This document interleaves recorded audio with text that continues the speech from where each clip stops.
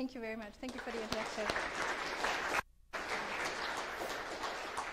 Um, please do interrupt me if you have any questions. So that I think would be better than asking it at the back. So I'm going to talk to you about how nuclear physics can treat cancer, and in particular about the radiotherapy program that we have at TRIUMF. Uh, TRIUMF, um, for those of you who hadn't had the pleasure of visiting us, is a lab in Vancouver. This is a photo of Vancouver between the Pacific Ocean and the local mountains in the fall. It normally doesn't look like that. It normally is very rainy, but when it's beautiful, it, it's, it's quite good. Um, we are a national lab in Canada. The name is Tri University Meson Facility. It was founded in 1968 from the uh, three local universities that's UBC, uh, Simon Fraser, and UVic. And at the first board meeting already, the fourth university, University of Alberta, joined, but that didn't make a good acronym, so, so we kept the name. So we are TRIUMF. Uh, we are 20 member universities from the East Coast to the West Coast, and of course, Toronto, University of Toronto is one of them. And in general, we are a nuclear and particle physics lab. So we know how to build accelerators. We build our own accelerators. We know how to operate them. We know detectors. We um, build some parts of detectors for CERN. We, in principle, in general, know targets to make isotope production because mainly what we do at TRIUMF locally is produce radioactive beams to then do experiments. And in general, we know interactions of particles. And this here is a map of TRIUMF with the main cyclotron here. Uh, it's the largest cyclotron in the world. It accelerates protons or negative hydrogen ions to three quarters of the speed of light, 520 MeV.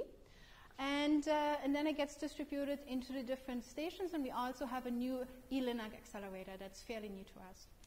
Uh, and all those places in the red green circles are actually sites that are applicable to medicine. For example, we have several small cyclotrons that their main purpose is to produce medical isotopes. We have chemistry labs that are used to process them. We have stations where we produce some more medical isotopes. We ran Canada's only proton therapy facility, and here we make some more medical isotopes. So, most of what we do in the life science division, not all, but most of it, is geared towards the treatment of cancer.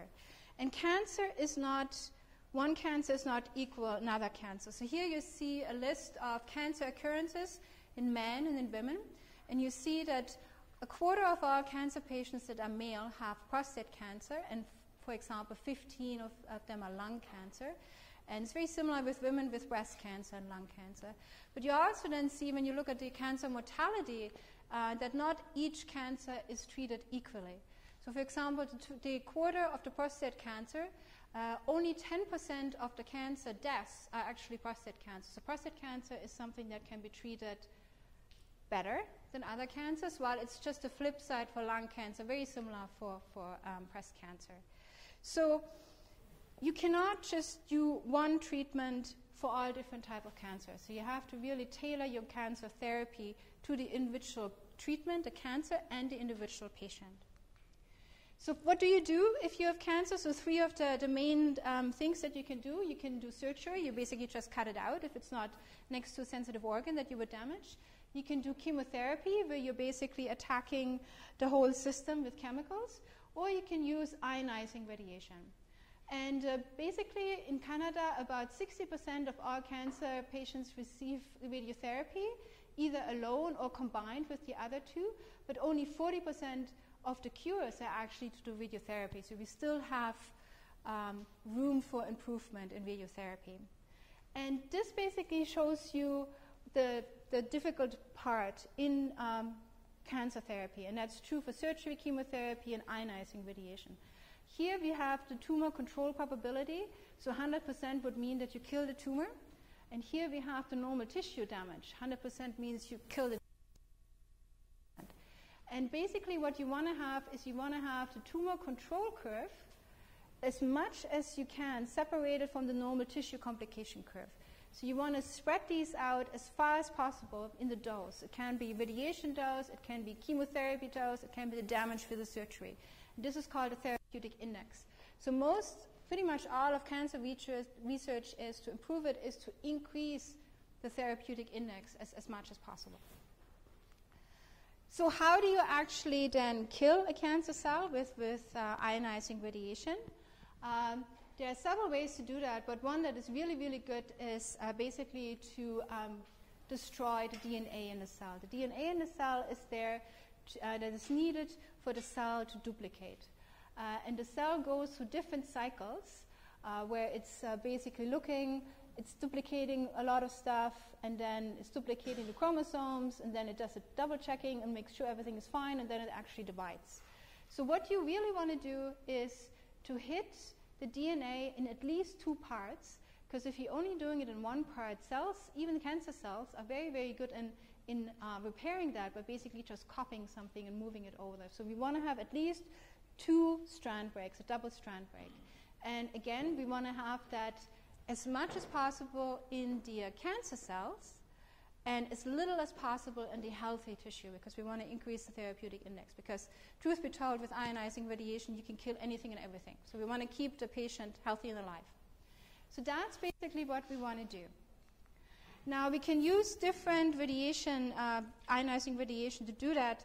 And of course, quick summary if you use protons or ions, uh, the particle go in into any matter and you have these ionization event. It goes in fairly straight, not much uh, scatter, and it stops at a predictable depth um, depending on the initial energy. And then beta particle electrons, they scatter more, have other photons coming out. Um, um, gammas uh, even more scatter, and then neutrons actually produce recoil ions that then do the recoil protons that do the other damage.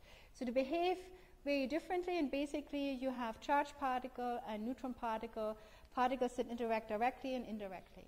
So keep that in mind, what we can use it, uh, how we can use it for, for different type of cancer. Um, the other thing that is important is that the concept of linear energy transfer. So as you saw on the previous slide, um, these events happen spread out or very dense. So a particle with high LET has the ionization sites really, really, really dense. For example, ions, neutrons, or protons. And low LET particles have an ionization event maybe here and here. So they completely miss the DNA. So they will not destroy the DNA directly. But it's okay. Because in most can- in cases, there's oxygen around. So the oxygen gets ionized. And all of a sudden, you have a free radical that now can uh, attack your DNA when it, when it and whatnot. So you can destroy the DNA indirectly if there is oxygen around, if you have free radicals.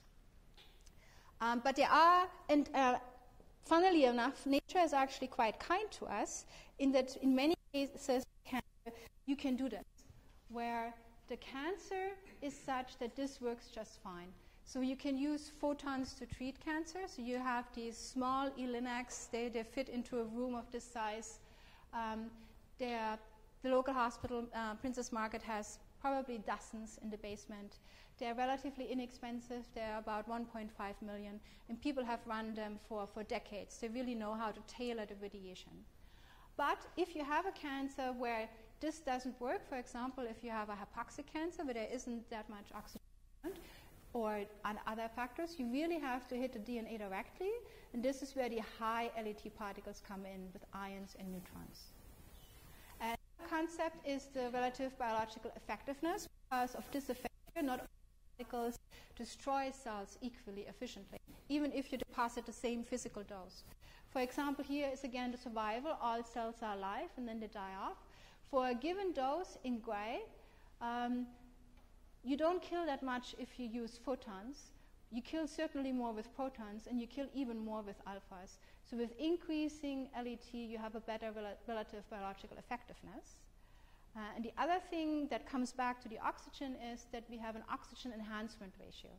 So this uh, part here with photons works really well if you have oxygen. If you don't have oxygen, it doesn't work so well anymore. And that's uh, reflected in this graph. this graph. Here you have a lot of oxygen, and this, this cancer here is hypoxic, so you need to put a lot more dose into the hypoxic one to, to get the same um, cell kill. And both of them um, depend on LET and in this faction. Those are the differences between the different particles and how you would um, use for different type of cancers. Okay, so how does that now look for an external beam? So here we have the depth in tissue in, in, a, in a human. And here we have most the deposited in the patient, which is that you have different here, for example, you have electrons, and typical electrons energy, they don't go very, very deep, and they are mainly used um, for skin melanomas or things like that. Then we also have the photons that we talked about. So we have some um, cell kill on the, the skin, and then we have the surface effect, and then it builds up, and then we have the, uh, the known um, exponential decay. And you can see that if you have your tumor about here, that most of the damage you're actually doing before you reach the tumor and you have some damage behind it. But in most cases, that's fine because you're not delivering the whole treatment in one shot. You're doing 20 to 30 fractions, like 20 to 30 treatments in a row. Someday you would come maybe from this direction, so you hit this healthy tissue in front of here, and the next day you would come from here. So you're spreading it out, but you're always hitting the tumor.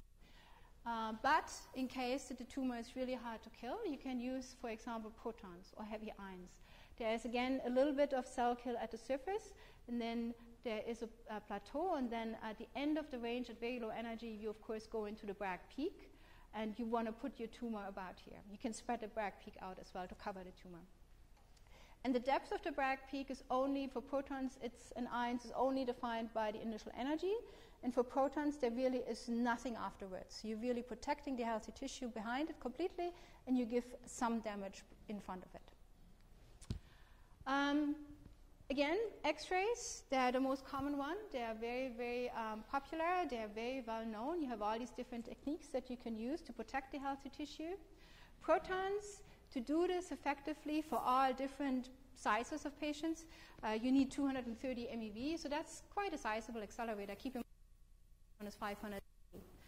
Um, so these um, accelerator complexes are expensive. Um, they used to be $200 million. They came down quite a bit, uh, right now in the order of $50 million. But again, if you have a healthcare system, like all healthcare system that is cash strapped, you want to spend your, your money wisely, of course. And um, so, how does it work typically? So, typically, you're giving the dose not in one shot, you're spreading it out because you want to hit the cell cycle of the cancer cell in all of the different cells. Because if you are going in one cell cycle, the, the, the cells are less likely to get damaged than in other cells, and you don't know where they are. So you want to spread it out so you can really hit them in all cycles. Uh, for example, conventional um, treatment here, the dose rate would be 0.0 grays per second, and you would do 20 to 30 fractions. And here we have an example of what would happen if you give the whole dose, for example, 34 grays in one shot at those, those low dose rates. So this is a pig skin. Pig skin is surprisingly similar to, to human skin. And they irradiated with slightly different uh, doses here, and you can see that a lot of the surface, actually, of the skin surface gets damaged. So you have burn spots. And then this was done first uh, in the 60s, and then it was kind of forgotten. And just recently, it, it uh, popped up again. It's very popular right now. People thought, what actually happens if I go against conventional wisdom and I'm not spreading it out and I'm not having these low dose rates? What if I give the whole dose in less than a second? So they this, did this with this poor pig as well, and they gave the 40 grays in less than a second. And this is what you get. This was, by, by the way, this was done out of, of France. You basically get no damage to the tissue. So that's really exciting. So people got really excited about that. Um, right now, it's not really understood. People are coming up with all different hypotheses why this is. One of them is that the tumor itself um, is already hypoxic, so it will behave the same way in either dose rate. Uh, by the way, the tumor um, behind it was killed the same way. So the, the efficiency of the, uh, the treatment was the same. It's just the healthy tissue here got damaged and here it didn't. So the tumor is the same, but the healthy tissue, if you give the dose in such a short amount of time, basically depletes the healthy tissue of oxygen. And all of a sudden, you're making your healthy tissue hypoxic, so you're protecting it. So that's one of the theories right now. Uh, but uh, there are some experiments see this effect and some experiments that don't see this effect. So we have to figure this out.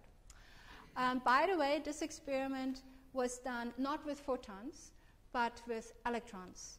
And that's mainly because all the clinical accelerators that you use for this type of treatments, um, you have a, a, a, linear accelerator that accelerates electrons. The electrons go into, for example, a tungsten target, and then uh, when they smash into the target, they create all these X-rays that you then direct into the patient. And that um, process, of course, um, has a lot of losses.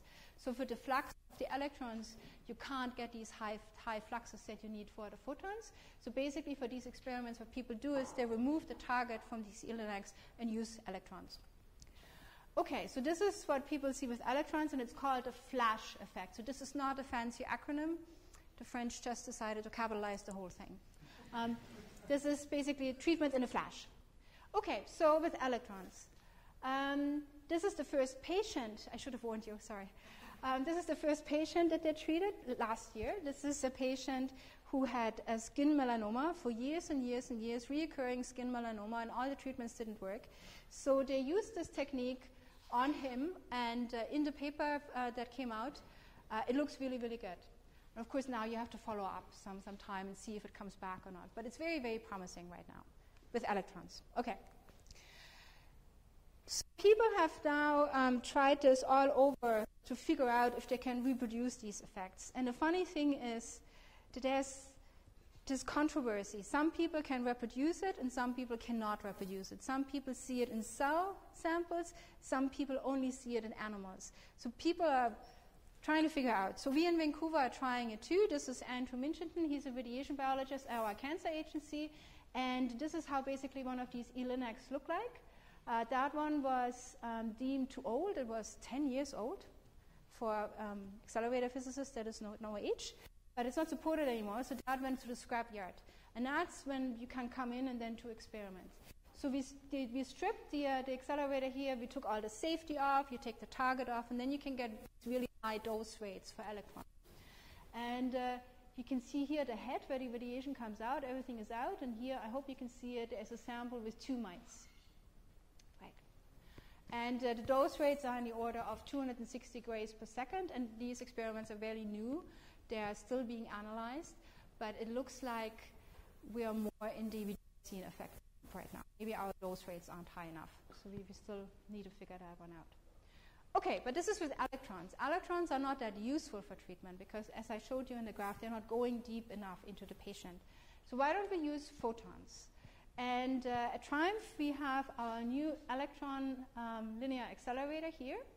Uh, it has an electron gun of 300 keV, 10 milliamps, and then we have different stages that accelerate the electrons.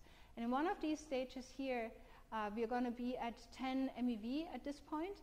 We have a beam dump where we then could try to, where we can convert the electrons into photons, and because our electron source is so bright, we can create a high enough flux with photons to get up in, in, the, in, the, in the dose rates. Uh, this is, uh, we got actually funding for that last year, and right now we are in the design phase. Uh, basically, the, uh, the photons, uh, the electrons will come, and they will get converted, and then we're going to place our biological samples here, which is basically uh, a nice word for mice. Um, that's the shielding that we're going to do, and we designed it, and it looks pretty good. And our simulations show that we should get up to an average dose rates for photons of 300 grays per second. Um, right now, we passed our design reviews. We're starting to build things. We're going to install it. It should be installed and, and commissioned by the summer, and we're going to do first irradiations with uh, biological samples in the fall. And then we can see what the effect is if you're doing it with photons versus electrons, if we see the same effect. Unfortunately, our electron accelerator wasn't really meant as a user facility where you go in and you change samples. Um, so when you go in, you want to change something.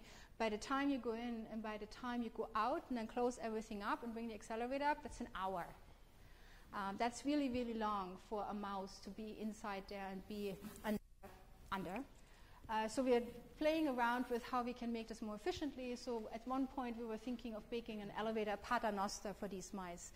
But it turns out it's quite difficult to do that because we would have to have a lot of shielding in between the mice. So we were still trying to figure out how to do that. Okay, so that brings me then to the next particle that you can use, the protons, that has this nice peak, the Bragg peak.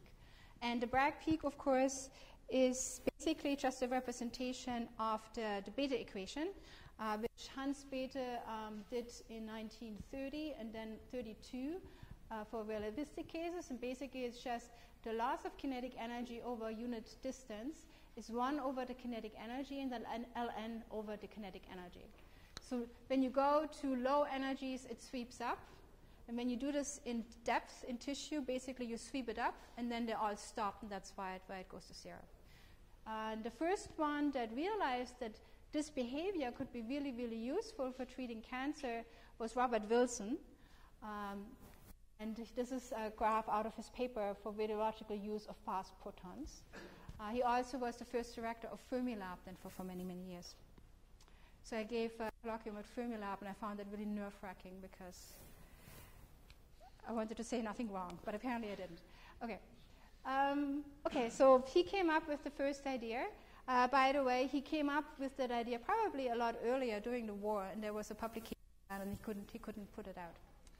And right now, there are about almost 100 centers around the world that use protons or heavy ions for treatment of cancer. You can see there are quite a few in the States. For us, the closest is in Seattle. Um, there are about 30 in Europe. There's one in South Africa. Also, they are going to close now. There is one in India, several in China, quite a few in Japan. There will be one in Australia. And we had the only proton therapy facility in Canada at TRIUMF. Um, it was situated right here, the main cyclotron, this very small beamline here. We were in clinical operation since 1995. We only treated ocular melanomas. Uh, basically, that's very similar to skin mel- melanoma. It's, you have a, a, layer, the choroidal layer in the eye that has a lot of melanin, so you can actually um, have um, choroidal melanomas. And um, we've stopped clinical treatments um, a year ago. And that was because our facility had never been refurbished since 1995, and the equipment reached the end of its lifetime. And that triggered a review of our um, cancer agency that looked at the costs and everything, and they determined because there are so many centers now in the States that it was more cost efficient to send our patients to the States. So we don't have a proton therapy facility in, in Canada anymore. There are plans announced that maybe there will be one in Montreal. There had been plans in the works for many years that there may be one in Toronto. By the way, if you do have certain type of cancers like uh, brain tumor or you have a small child pediatric tumor, uh, most likely if it's clinical reasonable, you will get transferred to the States um, for treatment. So it's not that Canadians don't have access to proton therapy, but we don't have a, a treatment center in Canada. And the more and more that will happen, at some point it will be economical that we will have our own proton therapy facility. Okay, so here you have uh, the facility layout. There's the main cyclotron. The protons come. They are then shaped um, to go into the right depth, in the right size. This is uh, my student Nick, who set model for this one. This is an actual patient. So you really have to fix the head really, really uh, close because the, the fall off of the Bragg peak is so sharp that you really want to make sure that you're hitting the tumor and nothing else so that the patient can't move. It was a very, very effective treatment in our center. Uh, we had about 40 patients per year from BC all the way to Quebec that had choroidal melanomas and that were sent to our ophthalmologist. She then picked uh, 30, 30 or so. They were treated with brachytherapy, where you're in, um, inserting radioactive gold really close to the tumor, because the tumor was of a size and a location that you could do that. Uh, but 10 of those patients the, the, tumor was too close to the optic nerve or the optic lens, so you would have destroyed those sensitive organs. So we only treated 10 patients a year, so it wasn't a very effective. Uh, no, it was effective, but not a very efficient um, cost balance. Um, so, but we did we did a really really good job. Here you can actually see from this image that this is the tumor before the treatment, and basically after the treatment, in this case, it was completely gone. You should see a little bit of a discoloration. The five-year local uh, control rate which means that the tumor shrinks and goes away, was 91%. And keep in mind that we saw the quarter worst patient.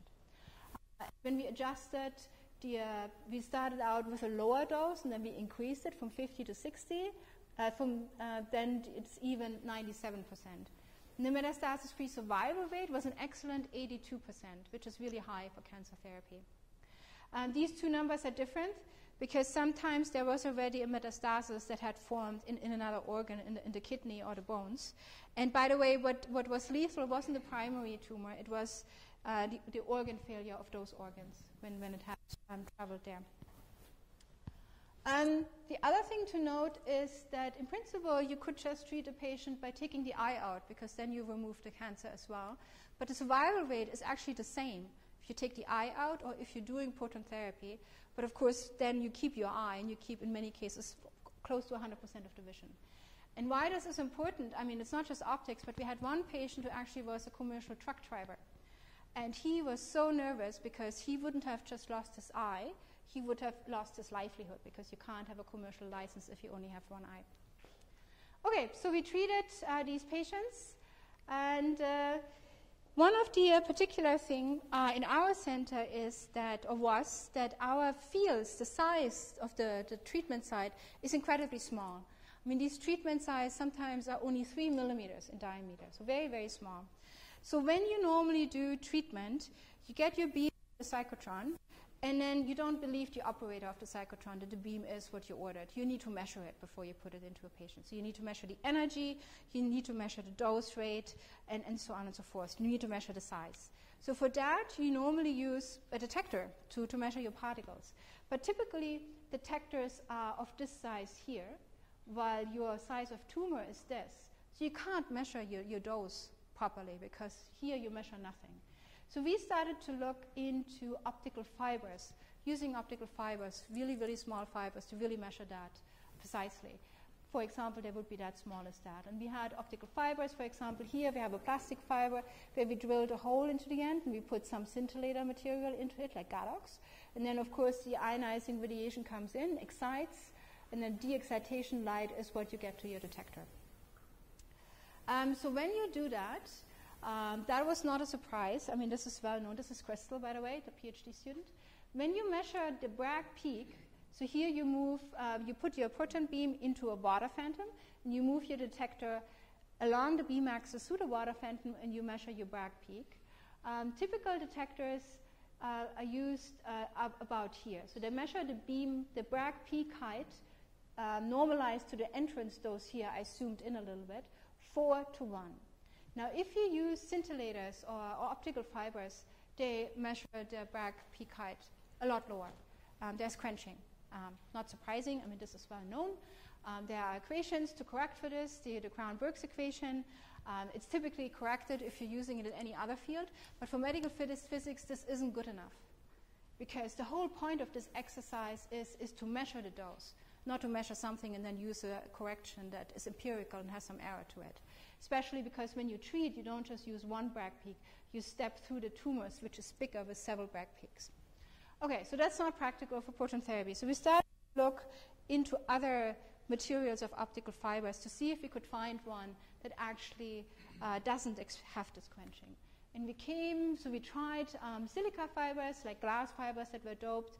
Uh, we tried the copper and cerium doped ones, still not very good.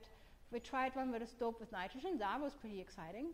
This is where it should be. And then we got to gadolinium.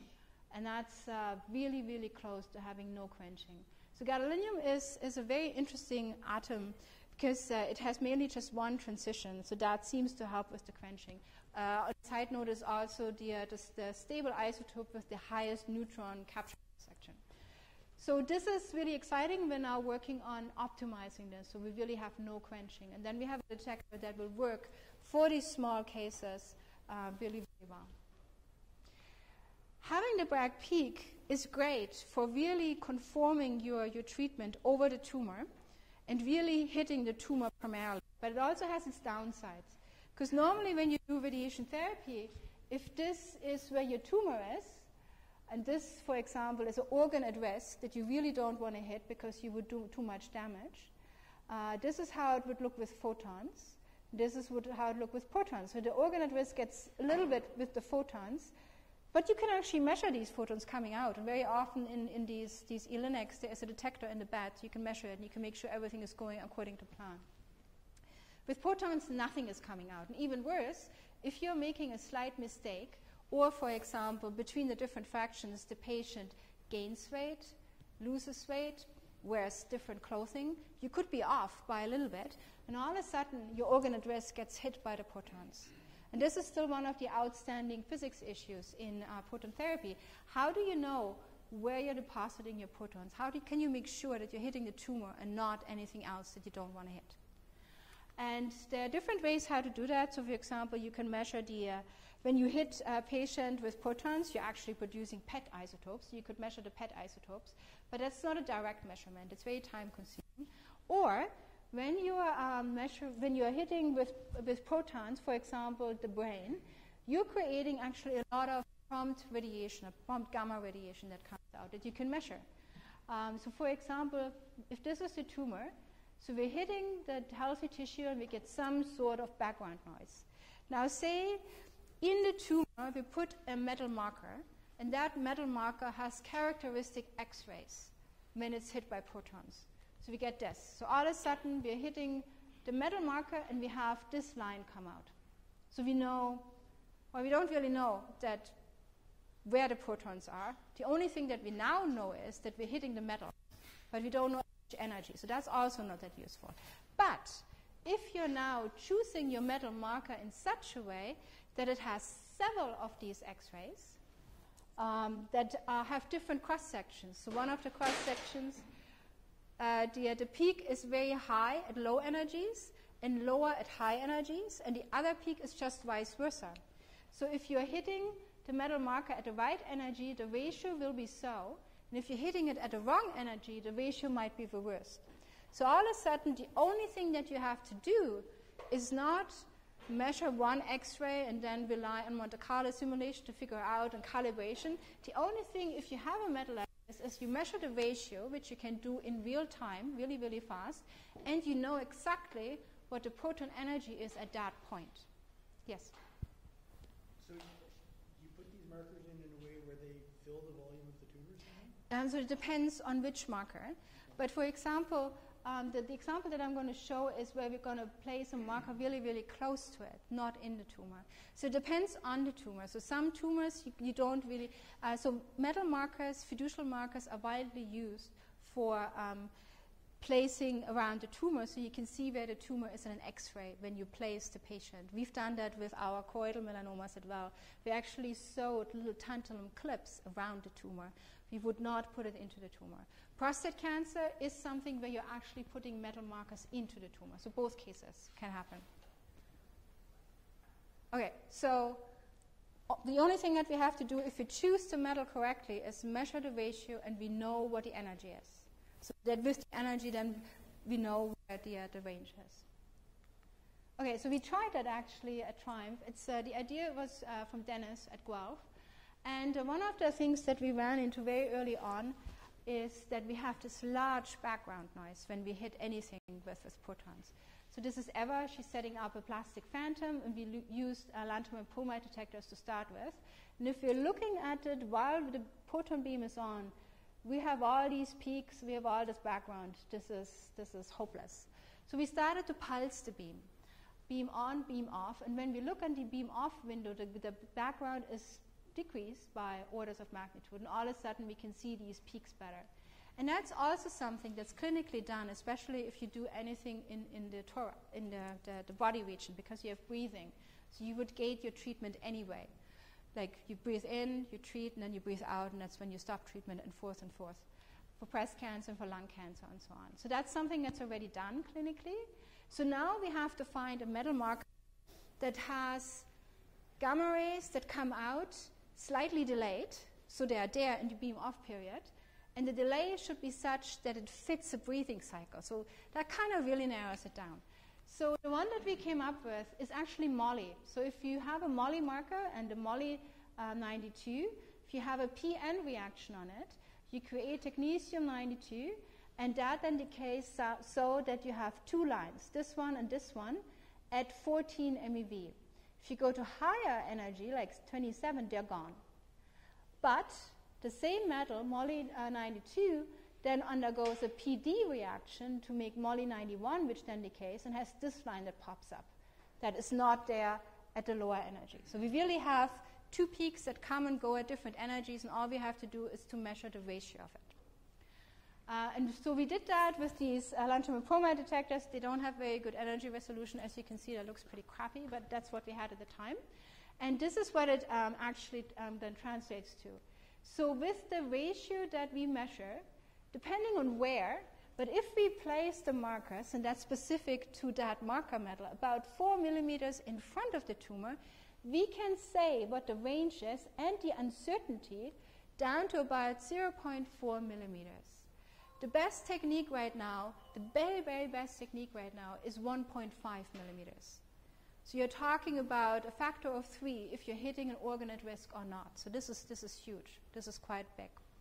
Um, so this is uh, what we did in 2018. Uh, then we applied for funding, and we were lucky enough to get a fund. So we then bought uh, a high purity germanium detector and repeated the experiment last summer. So here you see Christina setting up the, uh, the detector. And this is the raw spectrum that you get out. And you can see already, so these are the different energies, the different colors are the different energies. That some peaks change height depending on the energy. And Eva and Christina are currently analyzing the data. And we're also lucky enough to actually get a day of beam time at NSCL next month. So we're going to try the same technique also with heavy ions. We got an oxygen 16 beam. So yeah, that's where that is. But why can't we use um, protons as flash? I mean, we treated normally proton therapy, like everything else, is 20 to 30 treatments. At TRIUMF, we actually only did four fractions. We did hyperfractionation because the tumor was so hard to kill. But we could also use protons to make flash therapy, especially at TRIUMF. So our dose rate is a little higher than typically. We are doing about 0.5 grays per second, but we have very large cyclotron, very high flux. We can actually go, if I just do the math, to 10,000 grays per second. So we're right now looking for um, funding to, to upgrade our facility so we could actually go to um, flash rates. And uh, the proton therapy vendors that sell these big facilities already advertise a little bit. So what they are doing is, so if you here have the, the, the cancer, and this is again the, uh, the distributions, you have a lot of dose and then the exponential decay. Um, the vendors, to get these high flash dose rates, the Bragg peak is actually behind the patient, not in the patient. Because if you're reducing energies, if you're shaping the beam, each one of these actions reduces your flux rate. So they're throwing away the Bragg peak advantage of the spatial conformity and also the higher LET. Um, something that I forgot to say. Um, Ions are high LET throughout. Protons are a little funny in the sense that protons are low LET at the beginning and only high LET in the Bragg peak. So they're throwing that away. But we at TRIUMF, because of our high rates, we can actually put the, the Bragg peak right into the tumor, and that's what we wanted to try. Okay, so so we talked about external beam therapy with low LET and with high LET. And you can increase your LET even further if you're using ions, for example, carbon ions instead of protons. So here's a, a similar plot again, tumor, depth in tumor and the dose. Here you have the photons. This is a spread out Bragg peak to really cover the tumor if you would do it with protons. If you now use carbon ions, you have even more cell kill in the tumor for the same cell kill to the healthy tissue. But now the, the carbon ions can fragment on their way, so you still have a small tail now. But this is done uh, in Europe and in Asia and the US is now thinking finally about also having a, a heavy ion facility for treatment. Okay, but sometimes you can't actually use an external beam because sometimes you have this. So this is a prostate um, cancer patient out of Heidelberg in Germany.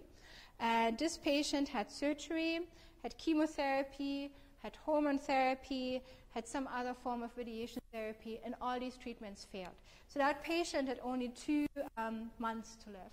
And in Germany, then you can qualify for uh, um, experimental treatment.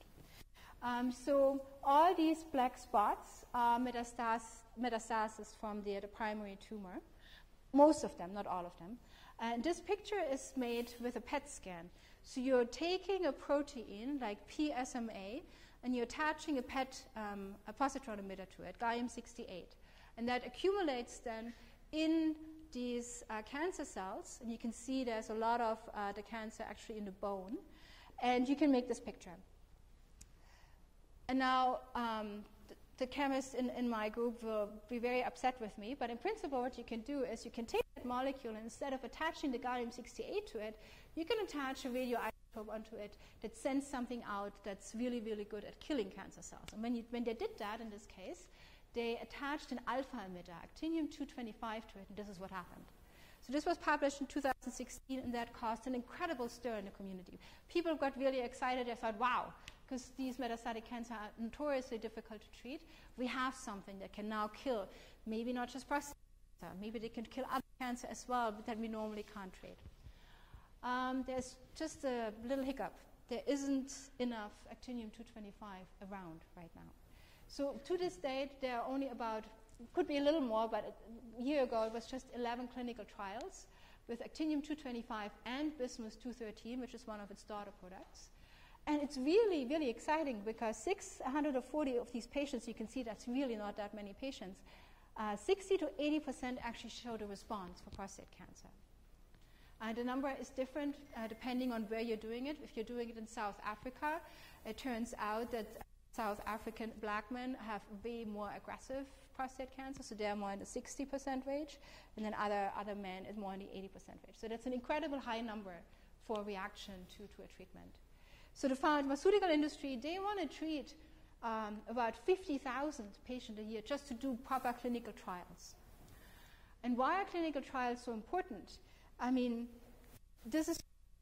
I mean, he went on years to live, and he will, uh, died of unrelated causes, however you can define unrelated causes. Um, but you, what you also see is a lot of black here. So that protein didn't just attach to the tumor; it also attached to the saliva glands in your mouth they got wiped out completely. So that patient had severe dry mouth. That doesn't sound that traumatic, but it seriously affects your quality of life. So you want to have some biological molecule that doesn't do that. And one of our collaborators at the Cancer Agency in Vancouver is actually working exactly on. He thinks he has found a protein that will go to the cancer, but not to the saliva glands. But you have to try it out. So you need this actinium to try it out. And uh, so you can. So most of the actinium that was around originally is from legacy stockpile uh, from the Cold War. There isn't that much around. The production was about 10 curies per year, uh, which is enough for a couple of hundred patients, and that's about it. So people started looking into producing actinium directly by irradiating thorium. And uh, it turns out that TRIUMF has the ideal energy to do that uh, with our 500 MeV cyclotron. So we are producing actinium here at the end of this beam line. So the beam comes from the main cyclotron, it goes through these different targets, serves all these different experiments, but at the end we still have really, really high flux. We have still 100 microamps of protons, and we still have 450 MeV of energy. So, and they, of course, go into a dump. We need to safely take care of those protons. So we can put our production target right, so here is the dump, right in front of the dump, and we can just run the target parasitically. So whenever beam goes down the beam line, we can produce actinium-225, which is about eight to nine months out of the year, where we can do that. Um, so that's what we did. Uh, but if you do that, if you do um, on thoriums, it's thorium-232, you're not just producing actinium. You are using hundreds of other isotopes. Also, some of them are actually interesting for medical reasons. But actinium is really interesting because it's not just sending out one alpha particle, it actually sends out four alpha particles. So you get four higher T particles for the price of one. Uh, you, we can also, of course, look at the, uh, the parent isotope, which is radium-225, and I'm going to come back to that in a minute. Okay, so you produce all of these. Now, you need to get rid of the other ones, and there are chemical procedures how you can separate chemically one, one um, atom, one element from the others. So if we are um, separating actinium, we're getting not just actinium-225, but 20, 24, 26, they're short-lived, we don't care about them, but we're also making 227, which is long-lived, which would go into the, the body. It's a bone seeker, so it would accumulate into your bones and if you're unlucky enough, may cause secondary cancer down, down the road because the bone is one of these organs that's very sensitive to the radiation. But what if we are separating the radium? Um, so if we're doing that, this one uh, decays fairly quickly, so we don't care about that. We just wait for that to decay. These ones go into radon, which is a gas, which we don't care about. And then these two decay in the actinium-225, the one that we want. This one is again short-lived. So we're proposing to actually produce the radiums, separate the radiums, and then using them as a generator to make actinium-225. When we did that, so that's a Monte Carlo simulation, if we're doing producing it directly, uh, we're making about 0.2% of actinium-227. Now, is that significant? Would that really cause secondary cancer? We don't know. We would have to do the clinical trials. But if we're doing the other technique where we're doing the radium first and then separate the radium, we basically have nothing in actinium. I'm showing you the Monte Carlo simulations because when we measure, we can't measure anything. So we've done both ways, and we think we can make actinium-225 basically really pure. Uh, so we designed a target for that. Um, we over-engineered it to make sure that it's safe because if that target fails, um, our back hall of the, the, Meson Hall will be slightly radioactive and I will be very popular. And uh, this is Andrew who then developed the target and the chemistry then to separate the, the radium and the actinium, and we did some really, really good runs. Uh, but these numbers are pretty small because we didn't want to have that much activity to do initial tests where you're doing the work by hand. So we're now working on ramping everything up and scaling everything up. And we think that by the end of this year, maybe the spring of next year, we, we can have really big quantities so we can really do a lot of clinical trials with, with that isotope. Um, the same we will do at the ARIEL facility. Um, so the ARIEL facility basically takes beam from the E but beam lines. And the idea is to that go through it go into a dump and targets here again and it will run in parallel. Uh, energy and this is the energy in the production target for us for the medical isotope really really good got a CFI grant to install that uh, for 10 million years, uh, 10 million dollars, and we think we're going to have that facility up and going in 24, 25. Okay, so I hope I showed you a little bit about all the radiotherapy uh, project that we're doing at TRIUMF, starting with the, uh, the flash, photon flash facility at our new ELINAC, the proton therapy with the, uh, the, the, optical fibers and the range verification, and then the alpha particles, uh, alpha um, emitters that we're trying to produce. Uh, this is our group, um, our funding, and thank you.